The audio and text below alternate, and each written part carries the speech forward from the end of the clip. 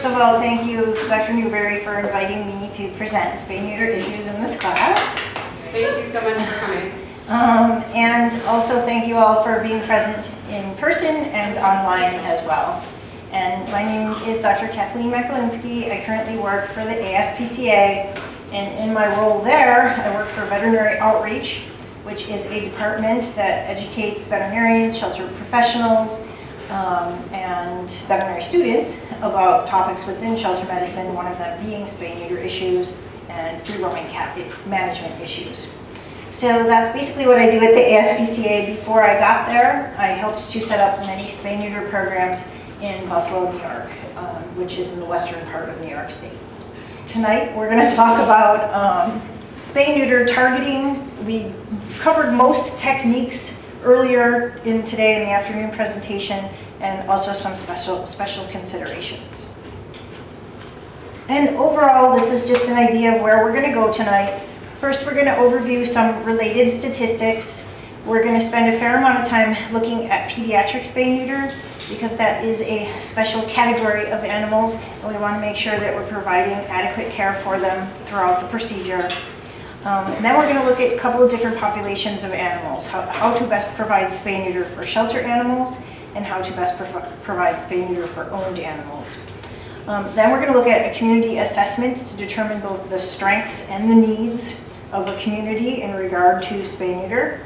And then we're going to spend a fair amount of time on targeting spay neuter towards at-risk animal populations, and we're going to define what at-risk means. So in regard to statistics, there are approximately 5,000 animals, animal shelters in the United States, and contrary to popular belief, um, a lot of these animal shelters do not have any sort of oversight by government, by any sort of overarching organization. They pretty much operate independently. We have five to seven million companion animals entering shelters per year and about three to four million animals euthanized in shelters per year. And that equates to about 60% of the dogs in shelters and 70% of the cats in shelters. And it's good to remember that these are national statistics, so certain areas of the country are going to fare far better than other areas of the country. So a little bit more related information, spay neuter is valuable in stemming companion overpopulation problem. Um, we have statistics from decades ago which showed that we were euthanizing far, a far greater number of animals than we are currently euthanizing now. So spay neuter and aggressive adoption programs have helped that.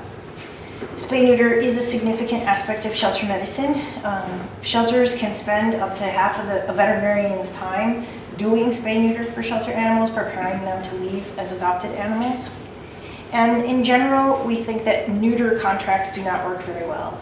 So that would be when a shelter adopts an intact animal with the promise from that owner that they ultimately will get that spay and neuter done and they may even have some sort of incentive to get the spay neuter done. They'll get a deposit back. They'll get some sort of monetary reimbursement.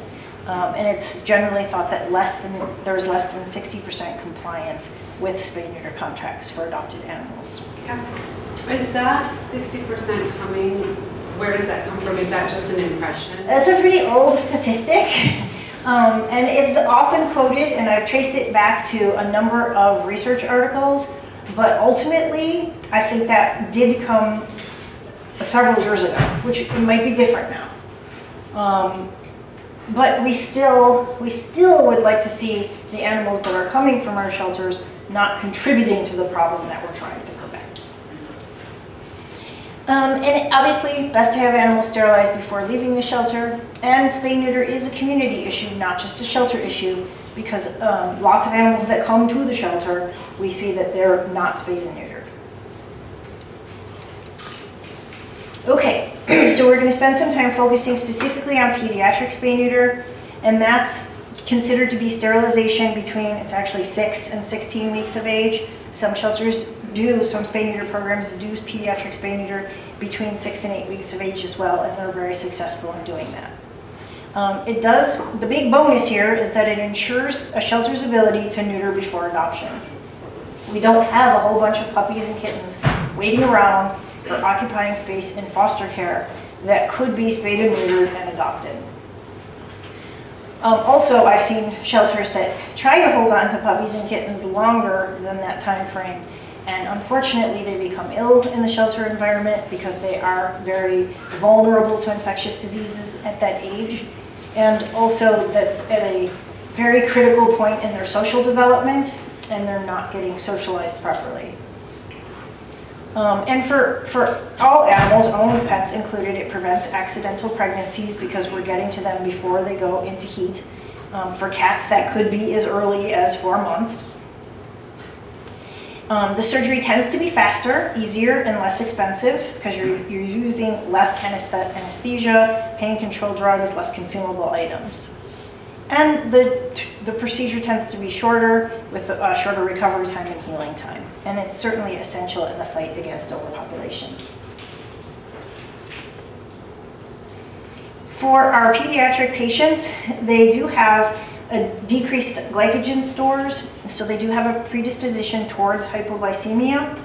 Um, they also have decreased ability to maintain their body temperature, so they are predisposed to hypothermia. They can have an altered metabolism, and that can affect the excretion of the drugs that we're giving them. And as we mentioned earlier today, we should only fast these guys for about four to six hours prior to surgery, even less, some people say two to four hours, so that it may be that you need to feed the pediatric patient while they're in your care prior to surgery. And we want to offer food within one hour of recovery when they're up and able to eat. Sure, yeah, the question is for free roaming cats that might come in in a trap, we may not be able to estimate their age in weeks. So could we go by the size of the cat, the weight of the animal? Um, and in that case, generally healthy kittens gain a pound per month for the first four months. So we could estimate their age based on how much they weigh. But it's always kind of problematic to get an accurate weight on a kitten that's in a trap. So we do sort of estimate, and then once we give an, an, anesthetic injection, which we may err on the side of having that cat be smaller than we think they really are, once we get them out, we could further evaluate if we think they're a surgical candidate. So surgical considerations for pediatric spay neuter, our incisions tend to be smaller. Um, one thing to get used to when performing pediatric spays on both cats and dogs is that they have a fair amount of clear abdominal fluid. And in some animals, it really just kind of comes gushing out of their abdomen. Um, and you have to kind of catch yourself because a lot of times when you're first starting to do these, you might think you have hit the bladder, which is a very scary feeling. Um, but once you do enough of them, you realize that that's just pretty much normal for them. They have very minimal amount of fat surrounding their ovaries, and we find that we can use an ovarian pedicle tie or possibly one ligature on the ovarian pedicles as opposed to two. And we do a routine closure on them. I just want to check, do you all know what she's talking about when she's talking about an ovarian pedicle tie? I can explain it. Um, so I know some, some of, yeah, I know some of you guys have had some surgical experience ready, but probably most of you have not. And when you learn to do surgery initially, um, you do a clamping technique where you place ligatures around the ovarian pedicle so that when you ultimately remove the ovary, the pedicle doesn't bleed. Um, and in, in most cases, you'll learn to put two ligatures on that ovarian pedicle. But in cats, we have found that much like performing a cat neuter, where we, we pull the testicle out and we do a overhand tie, an instrument tie, and then make the spermatic cord into its own knot we don't place any ligatures, the spermatic cord becomes its own knot. Um, we could do the same thing with feline ovaries, that we isolate the suspensory, pluck the suspensory ligament, isolate the ovarian vessels, and wrap the hemostat around that, creating its own knot. Um, and I found that in cats that that tends to be more efficient, but it, it, at least for me, it tends to be, it, I'm more confident in that knot that it creates than in placing ligatures. And we also, you can't do that in dogs. Um, there tends to be too much fat to make that knot secure. People who do this do high quality, high volume spay neuter, do pedicle ties routinely on all cats. Pregnant cats, obese cats, lactating cats. Um, they become that confident in the procedure that they prefer to do, do it that way. So here's a picture of a kitten spay, and you can tell just by looking at the instruments that this, the ovaries, that's an ovary, up there is an ovary, that's the uterus, and the clamp is at the um, fork of the uterus. So you can tell just by looking at the instruments that the reproductive tract here is teeny tiny. And it does take some manual dexterity to get used to working with um, reproductive structures that are that small, but once you get used to it, it tends to be a lot easier. And I always tell veterinarians who aren't used to doing spays and neuters on pediatric patients, if they start with somebody who's six or seven months old, work their way down to five months, four months, three months, two months, and then they can build their confidence in doing it that way.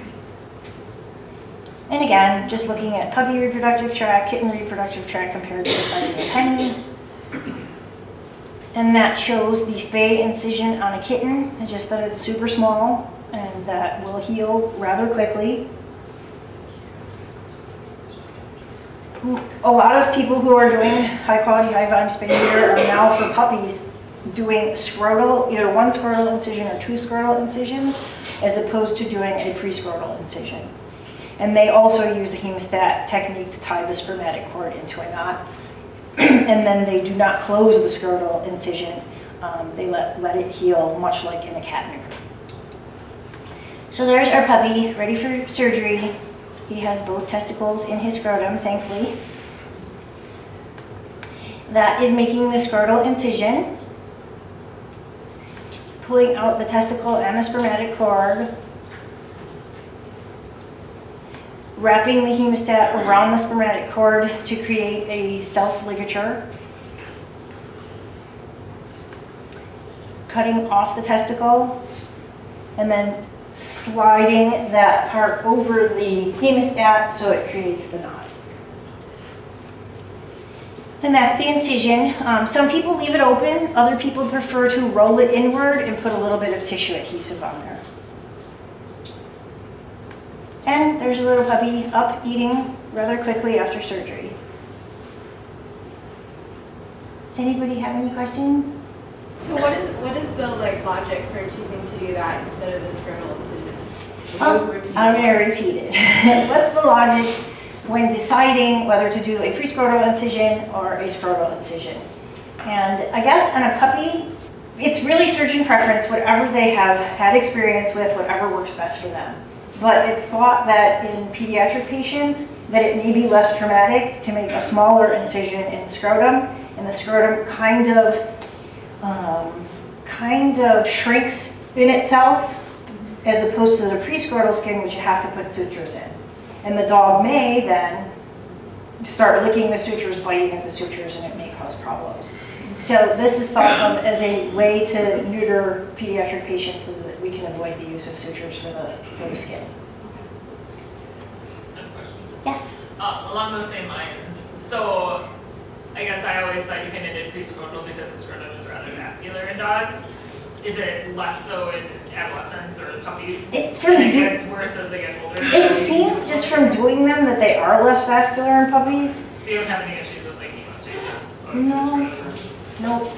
But there are people, um, including Dr. Bushby, who is a board certified surgeon, um, teaches veterinary students how to do these things at University of um, Mississippi, and he advocates for doing scrotal uh, castrations in adult dogs. In, in his hands, that seems to be the best way to prevent postoperative complications. And the reason he does it is because he thinks that a pre-scrotal incision will cause serum or possibly even blood to pool in the scrotum and cause a scrotal hematoma. In, in making an incision within the scrotum and leaving it partially open, there is the opportunity for drainage. So that for a day or two, that dog may lose some fluid, but at least it won't turn into a big scrotal hematoma. Okay, so there's been lots of talk and research about concerns regarding pediatric spay neuter. Does it have any long-term detrimental effects? And we're going to discuss just a couple of the items that come up frequently. Um, obesity being one of it, one of them, and it's unclear whether age at time of sterilization has any effect on subsequent obesity. Um, It's important to remember that obesity is not a mandatory consequence of sterilization at any age and controllable with an appropriate diet and exercise regimen. Um, Also commonly reported was diameter of the penile urethra in male cats is decreased, and numerous studies have failed to detect any correlation between sterilization of cats at any age and a decrease in their um, diameter of their urethra. Another concern is urethral sphincter mechanism incontinence in female dogs. and one study showed that it- there was an increased urinary incontinence um, before, if they were spayed, if dogs were spayed prior to three months of age. So they recommended that it may be a good idea to wait until at least three months of age. But a different study did not reach this conclusion. So I think it's really important that we recognize the, the pros and cons of the population that we have to deal with. If we're gonna have to keep puppies in the shelter for an extra month to reach that three-month age, it's probably not a good idea because they'll be vulnerable to catching infectious diseases and, uh, like we said before, it's their critical socialization period. Dr. Sandra Newbury mentioned that for the one study that showed possible potential for increased urinary incontinence in dogs spayed under three months of age, um, those dogs were not relinquished at any higher rate to shelters because of that problem. And there's a chapter within the shelter medicine book, the second edition, that is very, a very comprehensive review of a lot of different studies about this topic. Um, Dr. Jan Scarlett is an epidemiologist from Cornell University, and if you have other questions about that, that would be a very good read um, because she summarizes a lot of those articles. Um, but basically, we think that the benefits of performing spay neuter at this age far outweigh any potential detriments. Um, and it, it's best for owned animals to have that conversation with their veterinarian about what, what age is best to perform spay neuter for. Okay, so we're going to switch gears again um, to discuss spay and neuter for the specific population, those animals within shelters. And obviously our goal here is to get animals out of shelters in as quickly, as quick a manner as possible and get them into a home environment. Unfortunately, spay and neuter can create a bottleneck in that process. Um, we have animals that are unaltered in the shelter, and we have shelters with very good intentions of wanting to spay and neuter them prior to leaving as adopted animals, but they end up waiting um, for whatever reason that to the point where they're waiting excessively in the shelter, their length of stay is increasing because they're not receiving spay and neuter in a timely fashion. And that can be because of insufficient spay and neuter capacity. The shelter just doesn't have the resources to spay those animals in a timely, in a timely manner.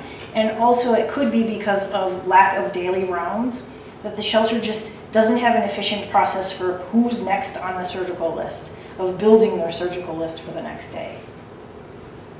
So our options for shelter animals, we can provide spay neuter within the shelter, or we can transport them to an off-site location for spay neuter. And if shelters are doing off-site spay neuter, there's lots of things to be considered in terms of developing a budget for that and seeing how much that costs. They have to factor in the actual cost of surgery, um, which depending on where you are in, in, in the country, veterinarians may charge vastly different rates for dog, cat spays, and neuters. Um, and even if that veterinarian is giving the shelter a discount, it may still be quite steep. They also have to have compensation for staff to transport animals back and forth to the animal hospital, um, cost to insure, fuel, and maintain transport vehicles, and a system in place and a budget for following up with any postoperative complications. If a shelter chooses to do on-site spay neuter, there's a, there's a whole another list of things they need to consider. Purchasing and maintaining equipment to do the spays and neuters on site. Um, ongoing purchase of consumable items. Obviously, they have to have a veterinarian to perform the procedure and um, qualified medical support staff.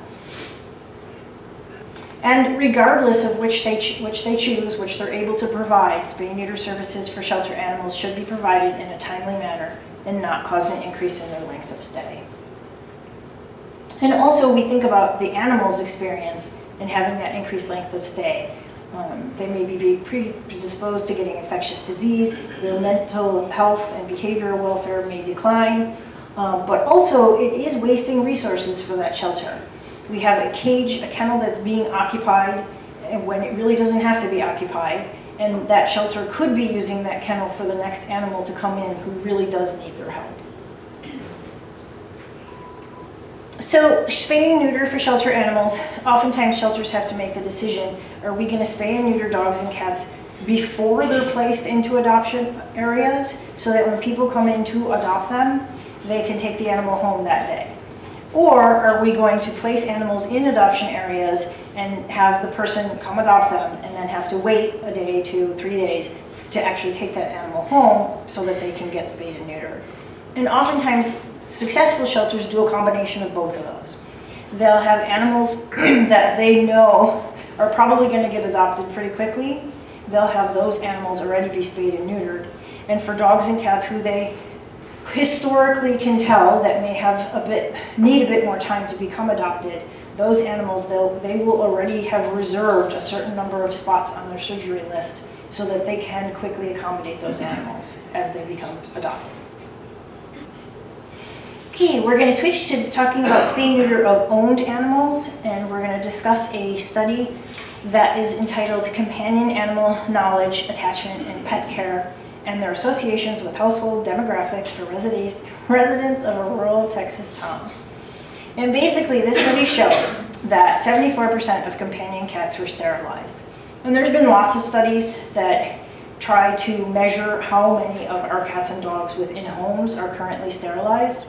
That figure is a little bit lower than some of the other studies. And we say, wow, 74%, why do we have a problem? Why is this a big issue if we have all these cats already spayed and neutered? But this study and other studies have shown that a large percentage of those cats here, 20 of 30 of the cats that had had a litter prior to sterilization.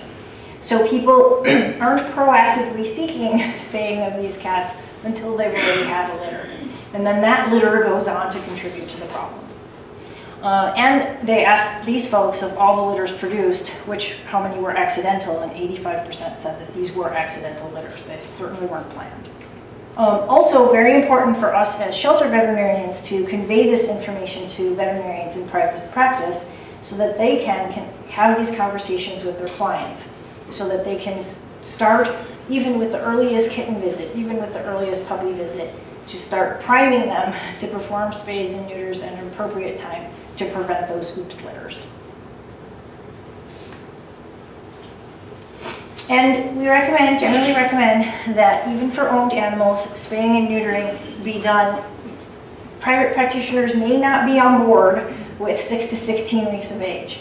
Um, and for those owned animals, it may be a good idea for them to develop uh, immunity through vaccination.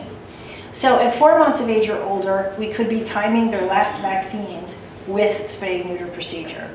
And it's still prior to the development of sexual maturity, so it will prevent accidental litters.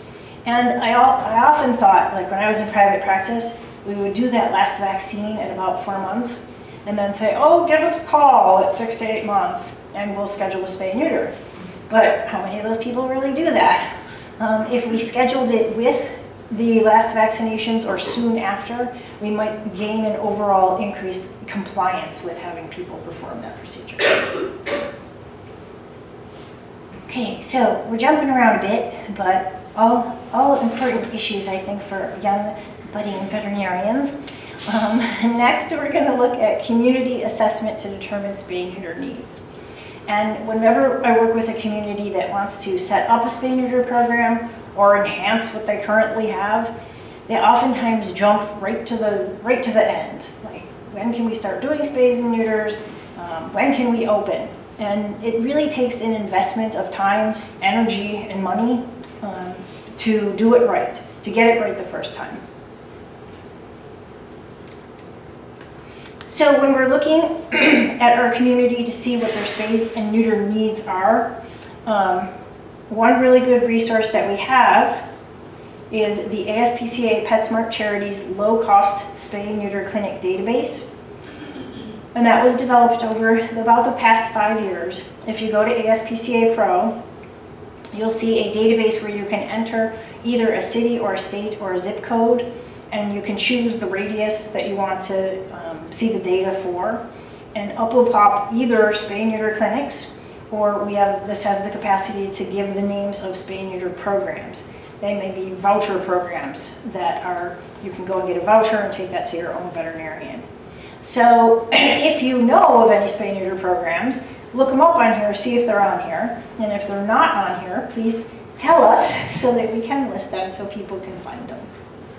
How can, how can we let the ASPCA know either that there is a new spay neuter program forming or that spay neuter program that's currently listing, listed is no longer functional?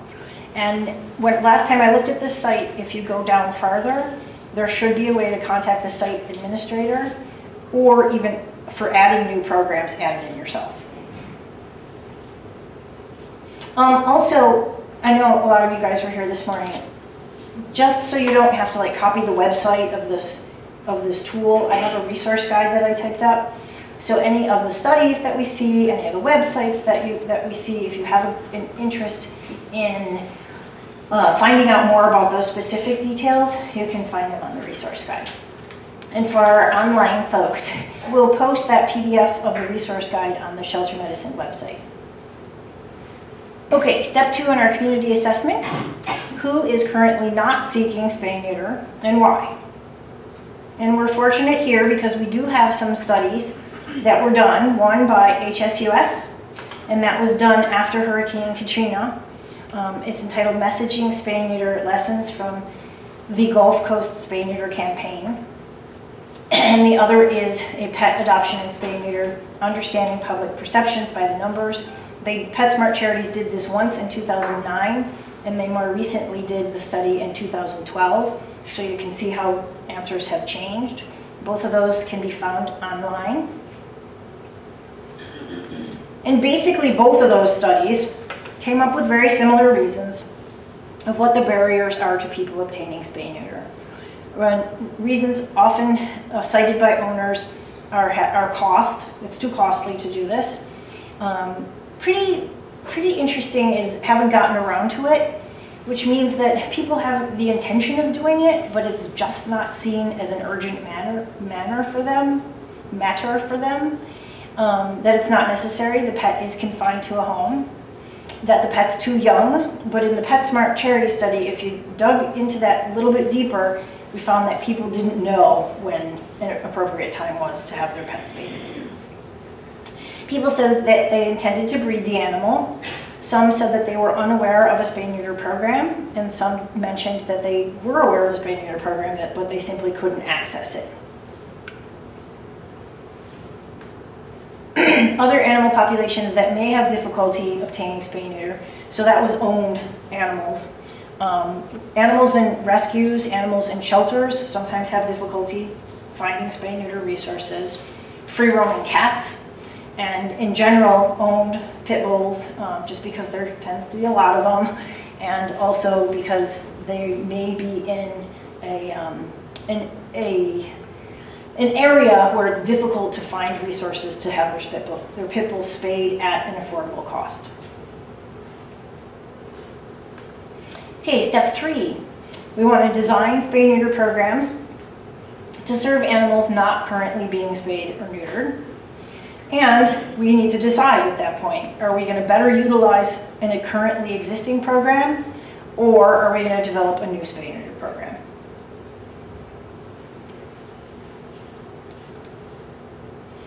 and step four, to, we want to implement or enhance the spay neuter program to provide service for a currently underserved animal population and build capacity within those programs to serve as many animals as possible. Um, and that's really where we used to stop with the community assessment. Um, build the program, build capacity, serve as many animals as possible, and hope for the best. Um, we really had no means of measuring impact of these programs. And also, we may not have been using our limited resources in a manner that had the greatest impact on animals at risk. And we're going to define what at risk means. in a little bit. But now, when I give this presentation, I say, but wait, there's more.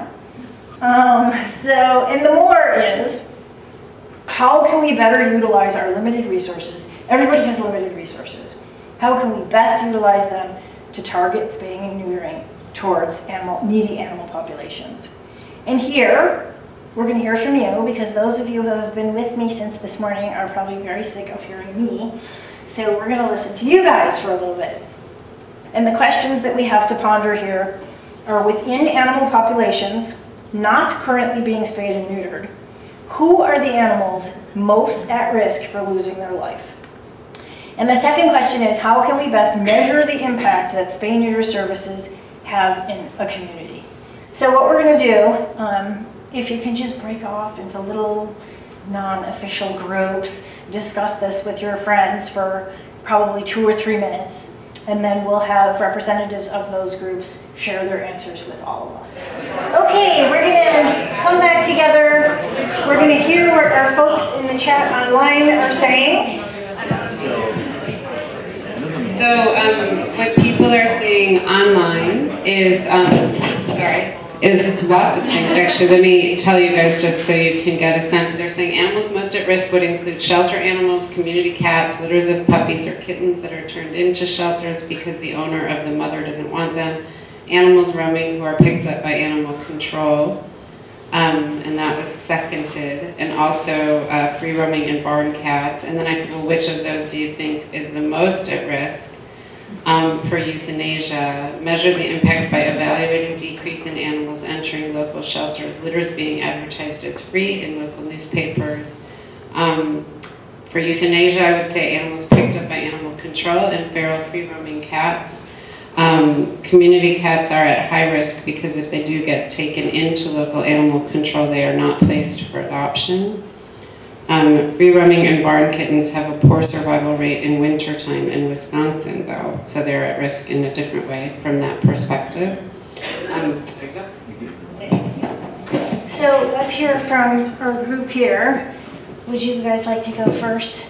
The, the answer was that free roaming cats are most at risk for losing their life. Are, are those free roaming cats that enter shelters, those for free roaming cats that stay on the streets, or both?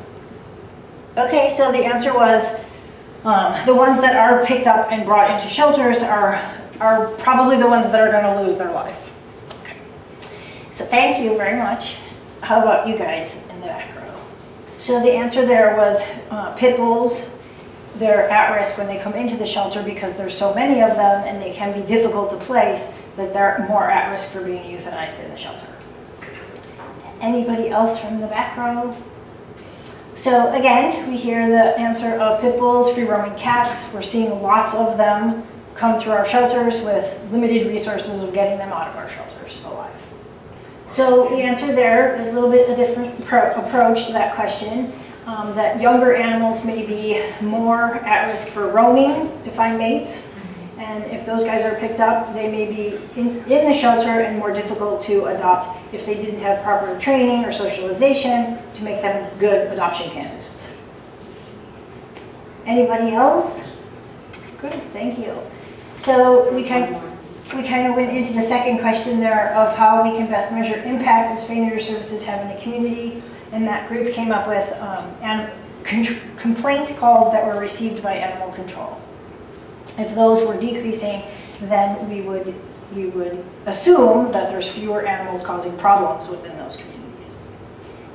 Great, so their answer was kittens or puppies of animals that are not spayed and neutered and animals who do have behavioral problems that are relinquished to shelters. Great, so for our online folks, that was a group that recognized that rabbits are often relinquished to shelters and they're at high risk for euthanasia because of illness or because simply of having too, too many of them. Um, so anybody who also wants to address the second question, how can we best measure impact of spay neuter services in our communities? Yeah, great. So monitor intake. If we're targeting certain animal populations for spay neuter, hopefully we would see that population decrease at intake of the, in our shelters. You can also measure the euthanasia rate, and then if you combine the shelter intake euthanasia rate, then you could also use it to measure how much your services were getting used. So if your services were getting used at a certain point and euthanasia is going down and shelter intake is going down and your services is going down, it doesn't necessarily mean you're doing a bad job at advertising, it could mean you're doing your job. That's very good. So they're combining the euthanasia rate with um, shelter intake rate and also seeing how many people are utilizing your services, the spay neuter services. Yes? I would um, wonder if you have a successful spay neuter program, if it would alter the number of unaltered or already sterilized animals coming into the shelter. Yeah, that's a really good point. So when we're asking people upon intake if their animal has already been spayed and neutered, we'd hope to see a greater percentage of those animals being spayed and neutered upon intake. Okay, so really great answers. Um, you guys really think about this, and obviously you've all had some experience in shelters to be able to figure this out.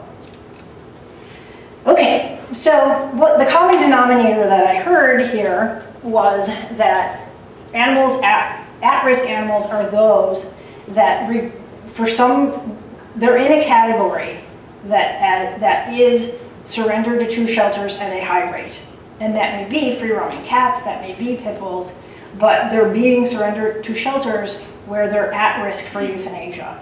And like we've said time and time again, they're also, even if they're not being euthanized, they're at risk for developing infectious diseases and having their welfare, their behavior, their quality of life deteriorate. So this is um, basically a summary of what we were, have been discussing. Um, all spays and neuters are important, but unlimited, we, unlimited resources need to be spent wisely. So Dr. Emily Weiss, who we're going to talk about a targeting program that she's developed, um, says that all and neuters are important, but all and neuters are not created equally. We do have to divvy up our resources to create the greatest impact. Um, and we, here we want to focus spay neuter on animals most at risk to entering shelters for, for reasons of overpopulation. And if we are measuring, if we are doing that, it gives us a means to measure the impact of our spay neuter efforts. so how can we best target these resources towards animals entering shelters? Um, and we have a couple different options, and here we're going to focus mostly on geography. So if we look at our intake statistics, we can look at zip codes. We can look at areas of high intake and try to determine by zip code which areas we should be focusing most of our spay neuter resources. The problem with zip codes, in some areas of the country, zip codes don't make a whole lot of sense. Um, we may have a large number of animals coming from one area of the zip code, and we won't know that. We may be targeting our resources towards the entire zip code and actually end up targeting resources in an inappropriate manner. So Dr. Emily Weiss at the ASPCA has developed a geographic information system to help us with this targeting effort. And here is a big long definition of what geographic information system is. Um, it integrates hardware, software, and data for capturing, managing, analyzing, and displaying all forms of geographical, geographically referenced information. It allows us to view, understand, question, interpret, and visualize data in many ways that reveal relationships, patterns, and trends in the form of, mostly for our purposes, maps. so, what does that really mean? Um, for our purposes, GIS has the ability to map a shelter's intake data so that we can easily visualize data and, more importantly, make informed decisions based on that data.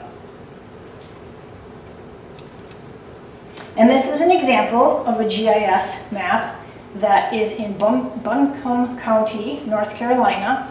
And for those of you who are here with us this morning, um, this is the location of Humane Alliance. This is where that very large um, spay neuter clinic, stationary spay neuter clinic that offers a mentorship program is located.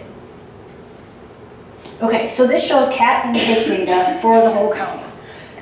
so everywhere where we see a red plus sign, that is one cat intake.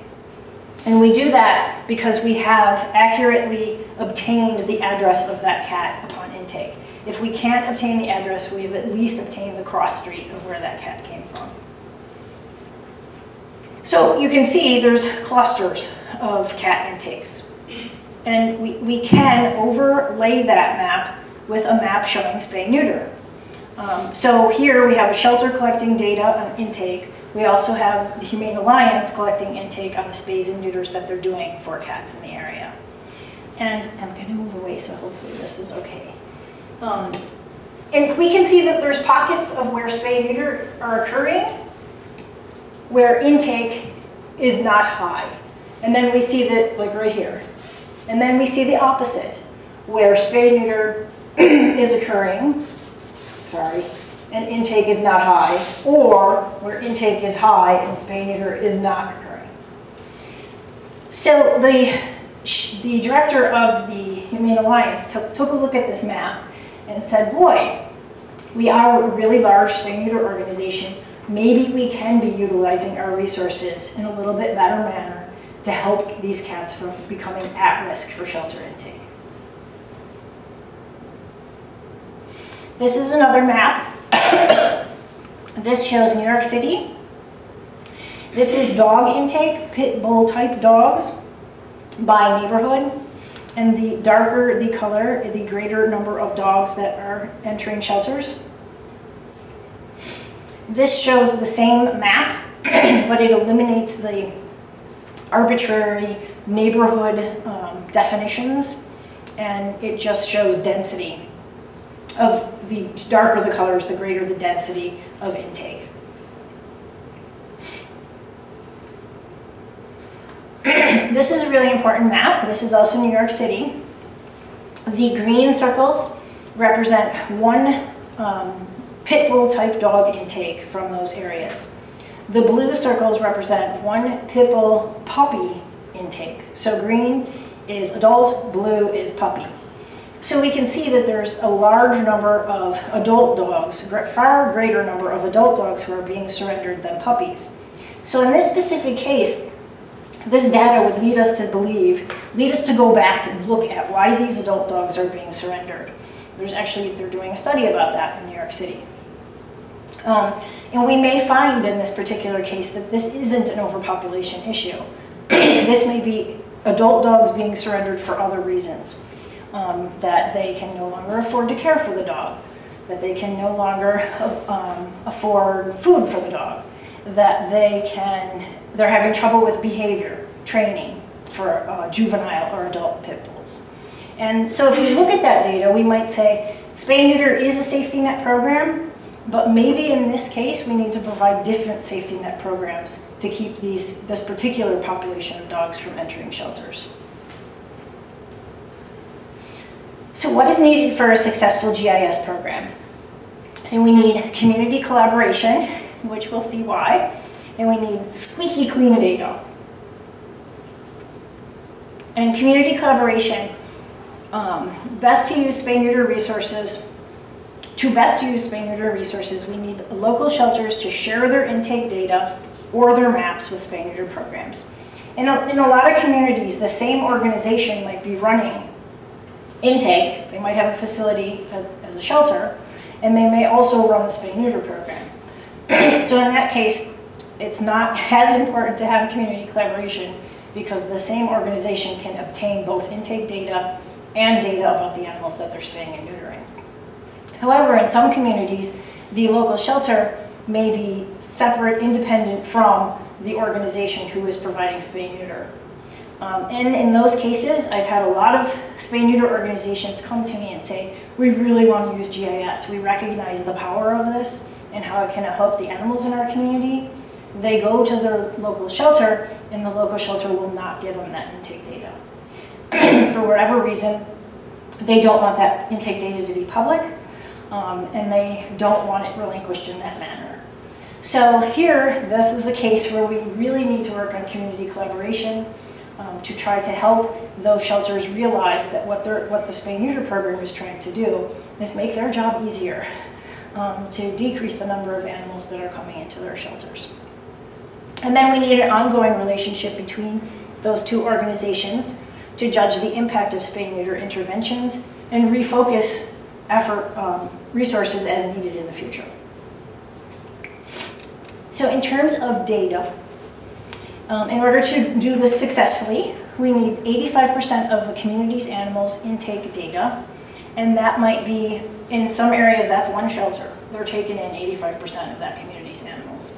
In other areas, that may be multiple shelters, who again will need to collaborate um, to have this program work. Also, 80% of the records need to contain all necessary data, and that is accurate uh, listing of species, breed, the intake type.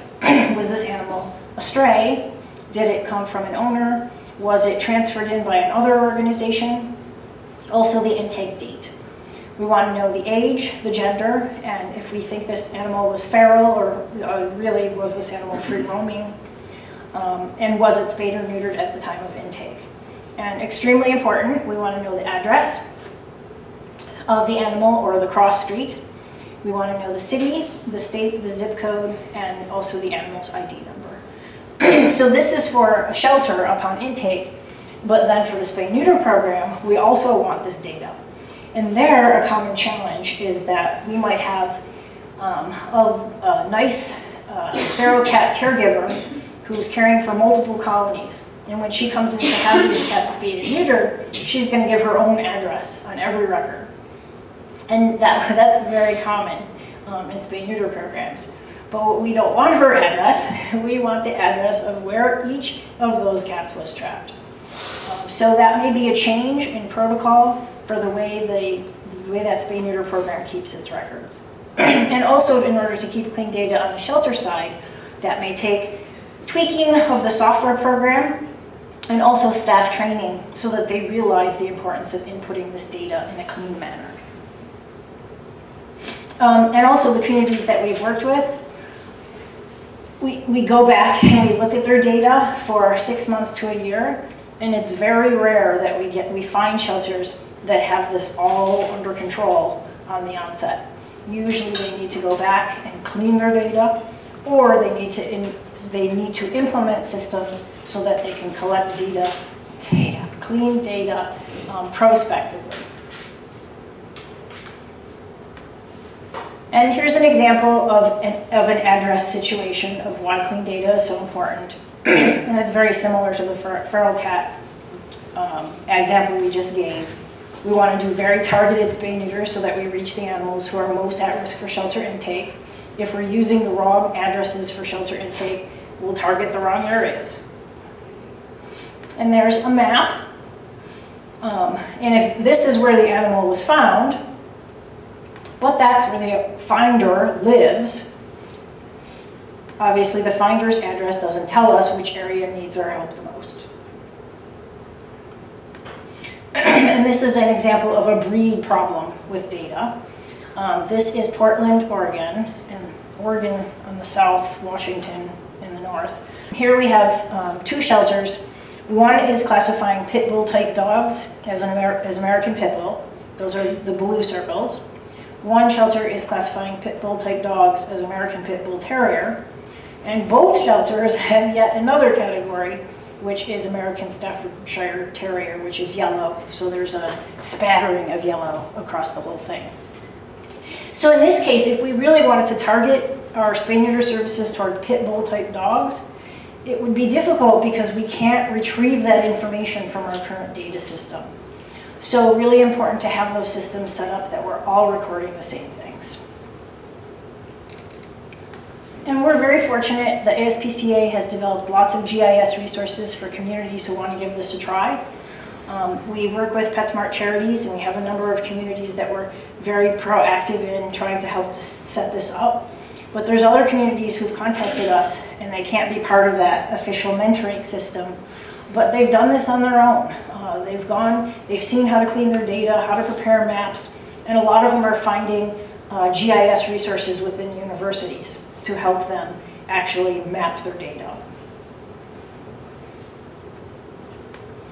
This is an example. This is a map again of Buncombe County in North Carolina. And this shows um, a spay neuter focus area outlined in red, right there, the little triangles are actually intake of cat litters. So the green, the dark green is three to four um, number of cat litters. And then it goes light green, yellow to red. Red indicates a greater number of cat litters being surrendered. So they defined their area of focus um, by a high concentration of cat litters being surrendered. And this is Humane Alliance. They're, they're pretty confident in their ability to get people through the door. Um, they have a tried and true method of outreach, um, something that they're comfortable with in order to advertise their services and reach populations that they're seeking. So in that area, they passed out 3,000 flyers and they ask on their intake form, how did you hear about us? And they found that only 20 of those were redeemed. So we find this a lot in these programs where we're trying to target populations of animals that we, that we historically have not tried to target before.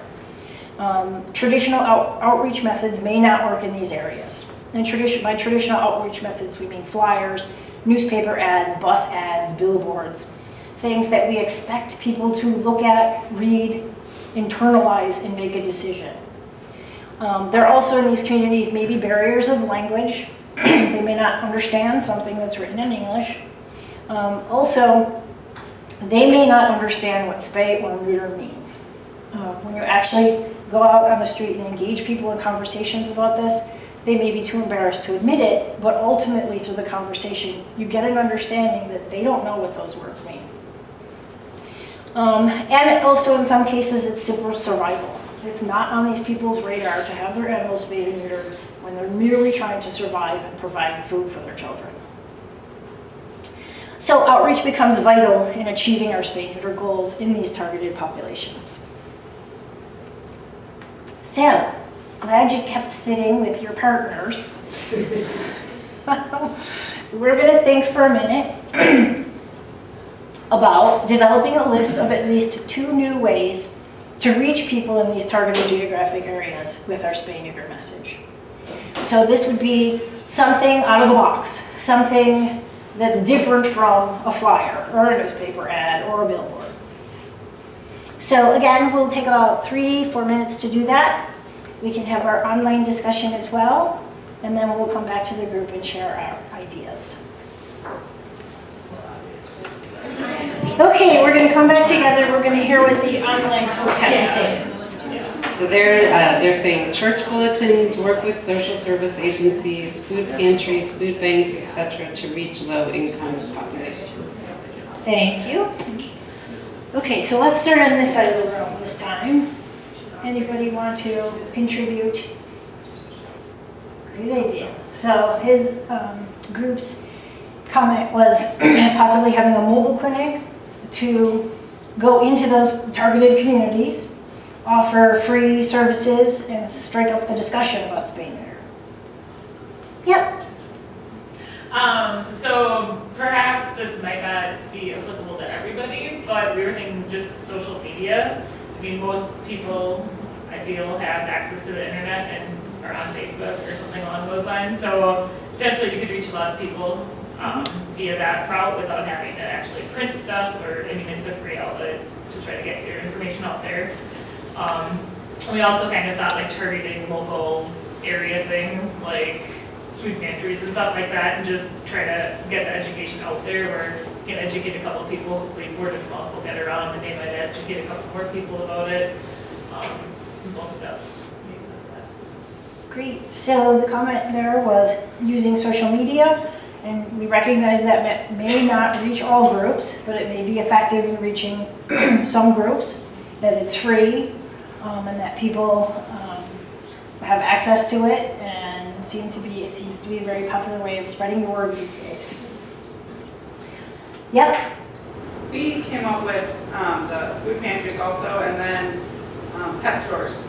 Um, Two of us worked at PetSmart actually, and that's pretty much the first place a lot of people go when they get their new puppy, is they come and get their supplies, and they usually ask about like vaccination clinics and everything else, so I think that'd be a good opportunity. great. Um, So the comment there was food banks um, for people, and even now some communities have food banks for animals. That might be a good way to engage people in conversation. And also pet stores. Uh, People, when they get a new animal, they go to the pet store for supplies, And also, oftentimes, they're asking pet store employees about uh, proper care for their animal. If we had um, shelter representatives there, we could give out accurate information. Yep, great. So the comment there was um, humane education in schools for children, so that they can take that information back home to their parents. In places that I've seen that also, um, that seems to remove a langu- language barrier, because if the adults may not speak English, the children can bring that information home in a language that's easily understood by the adult. Yeah, An ambassador in the community, um, so somebody that they know and they feel comfortable with, um, speaks their language and is you know, pro spay neuter. Um, So I'd love to see that in, um, especially in the areas of higher nipple population. Um, I've even seen it with uh, groups that are, rescue groups that work on targeting different farms and different feral colonies. They're working with people, and these people are willing to give their animals and have them come in for spay neuter because they trust this Yep. person with their animal. That's a huge issue of finding somebody within your targeted areas that the community trusts. Um, Because they're, and I, I sometimes think of this in terms of my own neighborhoods. If I have an outsider come into my own neighborhood, I'm not gonna really trust them. I, I would prefer that my neighbor or my friend deliver that message to me. I would view them as a more credible resource. So great idea to have um, community ambassadors people who can deliver that message for you. Um, One way too that we sort of try to find those ambassadors is we have, we've had twice now what are called community dog days, where we've gone into an area that we know is high intake and um, put, gave them a lot of free things, had vaccines for free, microchips. Um, We talked to them about spay and neuter. When we were there, a lot of people weren't interested in it. We had some people sign up and say that they were, but then none of them showed up. So that's why I like the mobile idea, because they say, yeah, sure, that sounds great, do it now. You know, Mhm. get it while they think it's hot, and before they forget and, you know, sleep in and don't make it Right. the next day. So I have three comments, and I hope I remember them all. Um, one, the, the, the, the idea that people may not show up.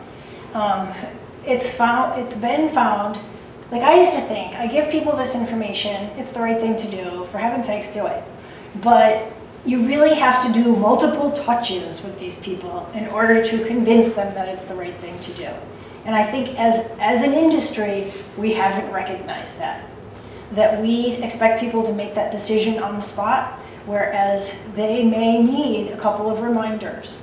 And programs that we're going to show you an example of um, has a very systematic way of following up with people to keep that at the forefront. the other comment that I had, um, I visited Emancipet in um, Austin, Texas, and they, much like you su- suggested, they have a wellness clinic that goes on concurrently with their mobile spay neuter clinic.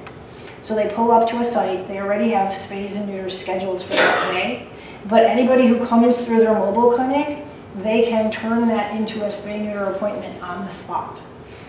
And I think medically to myself, well, those animals aren't fasted. Do I really want them coming in for spay neuter? But then I turn around and I see the pack of nine dogs running down the street. And I gotta weigh the pluses and minuses of doing that. And I think in those particular cases, it's vastly more beneficial for those animals to have, be spayed and neutered on the spot that day. So I love those kinds of programs, and I wish I was telling you this earlier. I really wish that um, shelters would couple adoption with those community days because I think there's nothing more powerful than giving someone a spayed and neutered pet. It's, that's the easiest way to get them to spay and neuter their pet is to give them one that's already spayed and neutered and vaccinated. And it's also the easiest way to build trust, I think, in those communities, is if we really show them that we trust them with the animals that we have in our shelter, we're asking them to trust us, but often we actually don't trust them back, and we need to really show them that we do. Yeah. Yeah. Um, not really a spay neuter pet to give them, but I had also wondered about if you have a spay neuter clinic and if you can get like a local sponsor or some sort of corporate sponsorship, even if it's on a lower level, like anybody who brings their pets in, monthly, we're gonna do a drawing, and you may win something, you may be able to sway those people that are kind of on the fence or indifferent either way. Yep, and there's been some incentive type programs tried. Um, there was a program, I forget where, it was called Junk for Jordans. Nice. They would give, There's bucks for balls too. yeah, so obviously they would give a reward if you brought your animal in to have it neutered. Um, and those programs have success in some areas, they're not successful in others. I mean, the bottom line is, this is so new that we don't really know what's gonna work. A lot of communities are trying things and trying to measure the impact to see what's gonna work particularly well in their communities. Okay, so thank you very much for contributing those great ideas. Um, we're gonna discuss a program that has, that contains a lot of the components that you guys already mentioned. It's called HSUS Pets for Life program. And this is just off their website. Um, Pets for Life builds humane communities using innovative strategies and fresh approaches designed to extend the reach of animal services, resources, and information to underserved areas. Um, addressing the critical need for accessible, affordable pet care, Pets for Life helps animals by empowering the people who care for them. We're not making these decisions for them, we're empowering the people to make their own decisions, to make the right decisions for their pets. And they really do, they embed themselves in, their, in these communities. Um, I've gone to a training session and they'll, they say that they have lunch in restaurants within these communities. They visit the local barber shop. They become a member of that community to build credibility and trust. Um, they meet meeting people in the neighborhoods where they live, marketing services strategically, using canvassing and community organizing techniques, much more effective than traditional advertising in reaching owners of altered pets in underserved communities. Um, and they've recognized that adequate follow-up is critical to building these relationships and ensuring that the animal's veterinary needs are met. So we're going to show a video of the Pets for Life program, and this is their newest video, came out in February.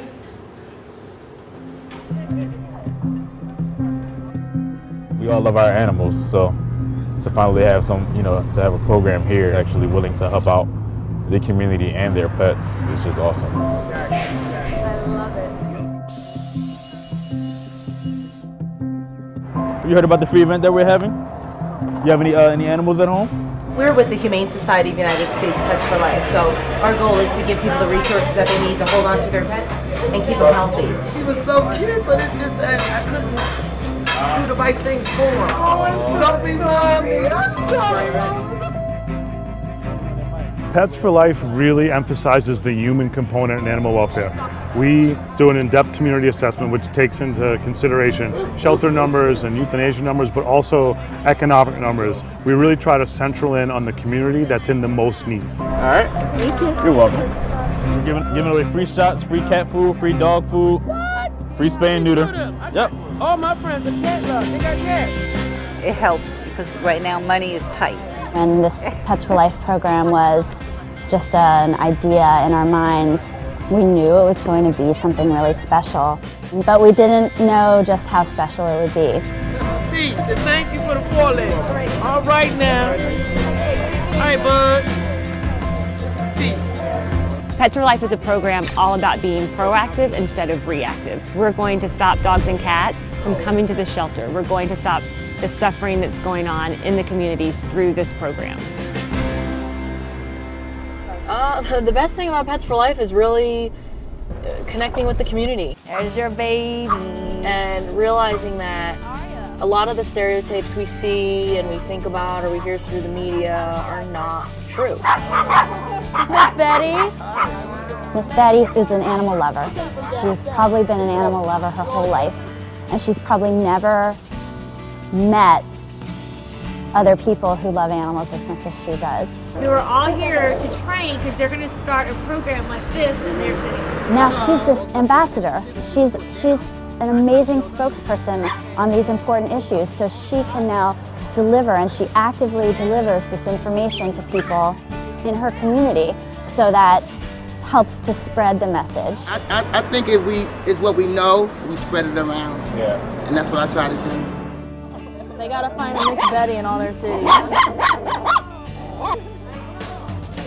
When you help people that you know that really love their pets, you know, it's satisfaction is oof, is very rewarding. Oh yeah, here we are.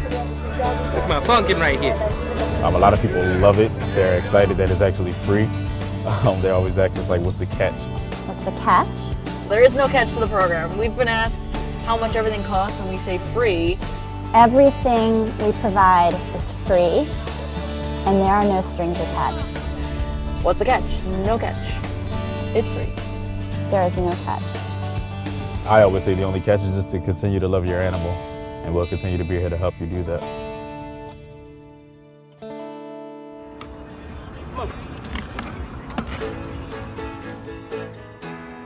We're getting ready for our huge outreach event. As you can see, it's 7.58 in the morning. We don't start till 10 a.m. And look at the line already. it is incredible. This is a good showing, right? Look like a football field out here. Really, really like the program. Me being from this community, I, I definitely see uh, the impact that it's making on everyone around. Is anyone in that bag? We want to get to the pet owners before they get to the shelter, before the pets need rescue, and try to keep them in the homes and, and really kind of elevate the bond between people and pets. so happy that I have the dog food. Spots too. Look at the dog. she know what it is. You, you like this? Look, she know what it is. Thank you so much for the dog food. It'll really help. That's amazing you guys can do this for us. I loved it. They're neutered, they're sprayed, they got microchip, they got everything. Nails done, nails From done. nails done, hair done, everything The whole done works. done. The whole works. Yes. As soon as she get old enough, we're gonna get her spayed and neutered. Yes. What we have forgotten is that by helping the pets, we actually do help the people because they care about their pets and they want to have the best life for them and their pets together. We talk a lot in the Pets for Life program about general wellness and about getting animals spayed and neutered. But the key to it is the relationship building. And from building relationships and from building trust with people in these communities, the spay and neuters come.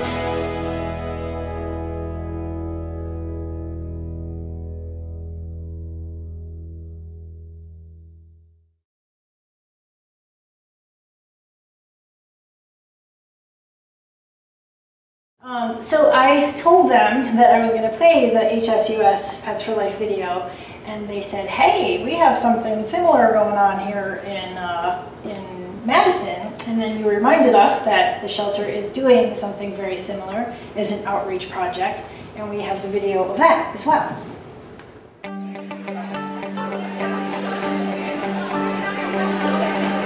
We're here today at our first Community Dog Day of the year, and Community Dog Day is an event that's a collaboration between Dane County Humane Society, the Boys and Girls Club of Dane County, Mounds Pet Food Warehouse, and a grant by the ASPCA. And basically what we want to do with these events are go into specific communities, specific parts of the city where we see a high number of stray dogs, and especially pit bull terriers. The inspiration for our community dog days was that we saw certain pockets of our city with high straight intake numbers at our shelter. So we decided to go right to those neighborhoods, do some community outreach, meet some people, and see what we can do to help them and support them, keeping their dogs in their homes and happy and healthy. You been to the vet before? No. Okay, so this is the first try? Yes. Okay. You didn't even know it. You didn't even know it. You guys are good there. How old are you? Ten. 10. That's awesome. We hope to go directly into these neighborhoods and really make a connection with the residents and be able to educate them on the services that DCHS can provide to them. Is there any symptoms of, of worms? Sometimes not. So there's no way to tell by looking at them externally if there's worms or not, so that's why we just we deworm just in case. Wow, what a good boy. All right. This is one particular neighborhood that we came to to show support and to offer resources and advice to the pet owners here we seem to get a lot of strays from. Um, so here we were able to give vaccinations, microchips, um, supplies, all kinds of fun stuff, and also just help them with general questions about pet care and pet training. Sometimes I get little clumps in here and little rocks will stick. So the more you play with her feet and feel inside, the better off she'll be. I put chapstick on. Thank you for the kiss. nice kiss. so the rabies goes in the right rear leg, and the distemper parvo goes in the shoulder, and then the microchip goes on behind his neck. So I heard it from my neighbor. Uh, she informed me that program down here was going on to get your dogs shots tagged and nails trimmed. I came down and saved me a lot of money. I appreciate it. We found that several of the people in this area obviously love, love, love their pets, but they're in situations where they have to make difficult choices about whether or not they can feed or vaccinate or take care of their pet or feed themselves or take care of their children. So um, by doing this, we're hoping that we can help them give their pet the things they need, just those basics, food, vet care, proper supplies and things like that so that they don't have to struggle with those hard decisions and they can keep that pet um, in a home where it's obviously very loved. This kind of thing is very appreciated when you're, you, I mean, not every day can people have, you know, an extra money to put $500 on a dog's shots, you know, so it is nice for everybody to help out and do these things for people out there that can't do these things for themselves. People's reception seemed very positive. People love their animals and like to talk about them, and I think we helped out and made a little bit of a difference today. This event wouldn't be possible without this wonderful grant from the ASPCA. And with their support and also the support of Mounds Pet Food Warehouse, the Boys and Girls Club of Dane County, we're able to put on these events and we're excited to put on more in the upcoming year.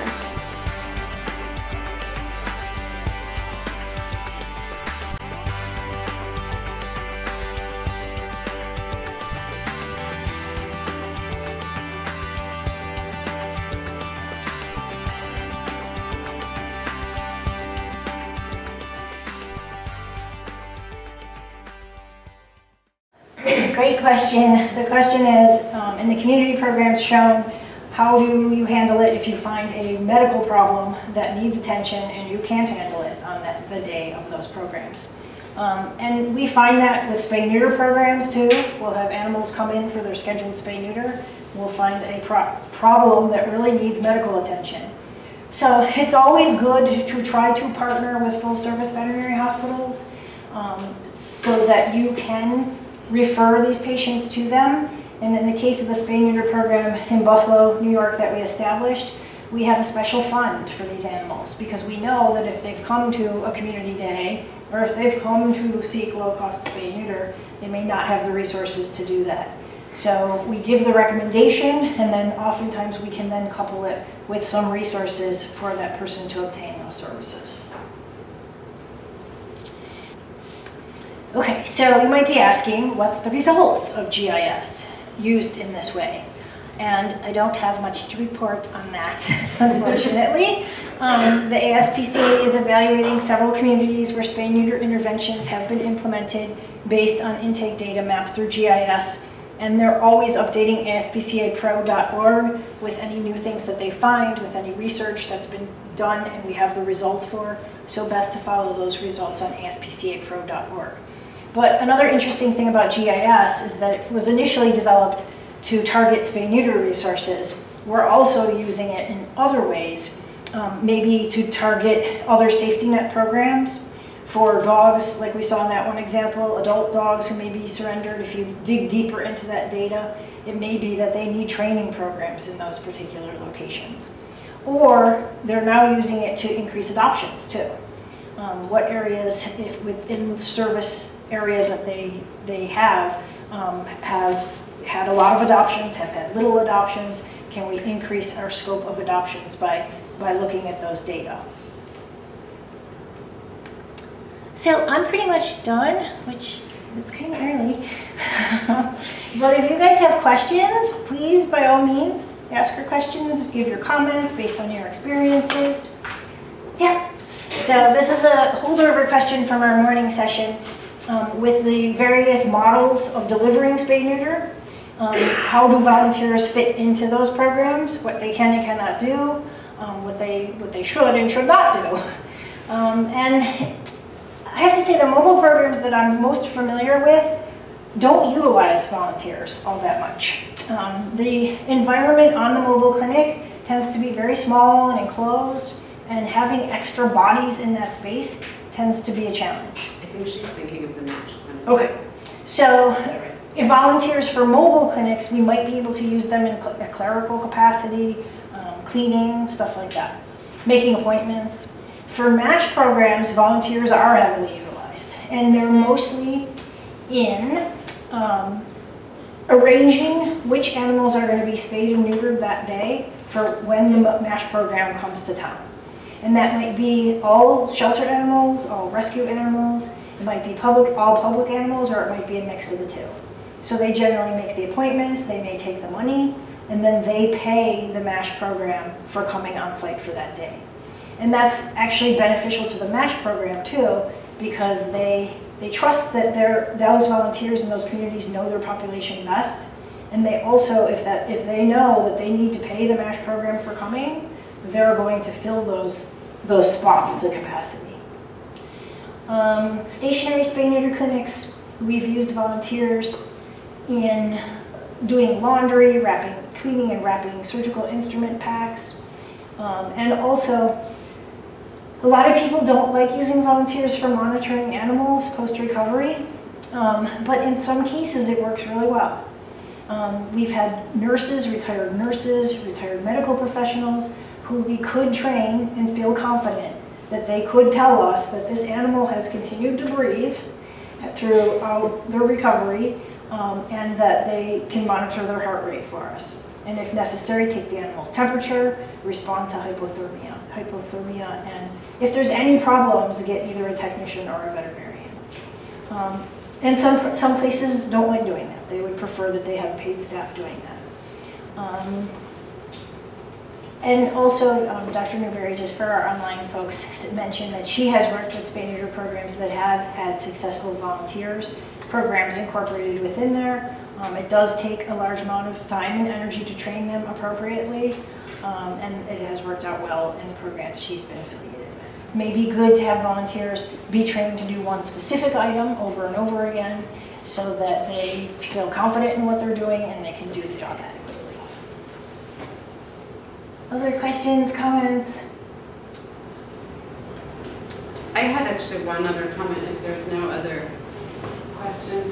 Um, just so you guys are aware of it, Dr. Gary Patronek uh, wrote an article, one of the first articles that was really in the sheltering field using GIS data. What, what he, I'm talking about articles that were written by Dr. Gary Patronek or an article um, using GIS and what he did was actually compare um, the risk of euthanasia in a shelter to um, the risk of premature mortality in humans using the GIS. So he sort of overlaid the two onto maps um, in Boston um, and found that there was a very strong correlation between those things. And so that might be a place when we think of kind of like, well, where do we go next? Sometimes spay neuter is the intervention that we want to reduce risk um, of death in a shelter.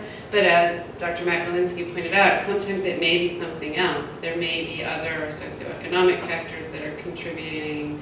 And so in his study, he, he was really able to see that those two things really correlated. And there's obvious sort of, again, correlations, socioeconomic correlations for why we would be seeing um, human premature mortality.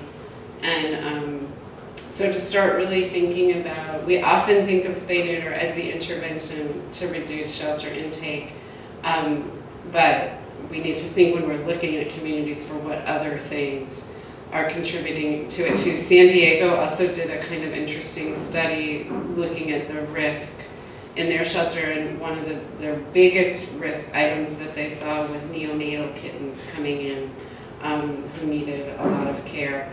Um, but in other communities, we see very few neonatal animals coming in, and instead we see these one and a half year old adult dogs um, with behavior problems are, are much more at risk than those other animals. So there's lots of ways to think of using GIS data. Thanks, Dr. Newbury. Anybody else?